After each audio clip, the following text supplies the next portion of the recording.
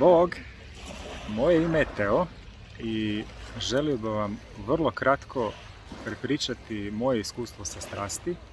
Zapravo ima toliko toga ovaj, da bi ovaj video mogu potrajati satima, ali zapravo eh, ono što ja vidim najveći, najveći pomak kod sebe je koliko se dobro osjećam, eh, koliko imam puno više energije. Pošto sam dosta onako strastveni sportaš i bavim se i biciklizmom i planinarenjem i trčanjem, zapravo tu vidim neku najveći, najveći pomak. Koliko više energije imam i jednostavno promjena prehrane i načina razmišljanja mi je donijela toliko nekih benefita da bilo koji sport, bilo koju aktivnost mogu bez problema odraditi. Osjećam se super i puno, puno bolje nego prije.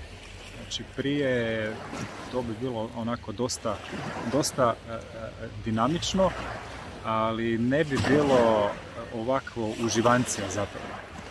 I tu vidim moj najveći napredak u svemu i u načinu razmišljanja i pristupu i u životu, ali taj dio da sam ja zadovoljan sam sa sobom, sa svojim tijelom, nakon godina i godina ovaj, različitih nekih prehrana i različitih eksperimentiranja, napokon sam zapravo na strasti shvatio što najviše odgovara meni osobno u nekom fizičkom pogledu i to stvarno funkcionira.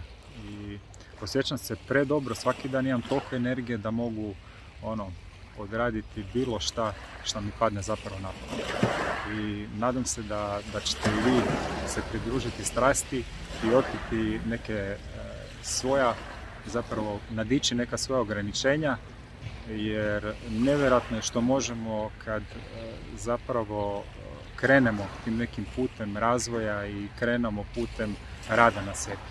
Eto. Pozdrav!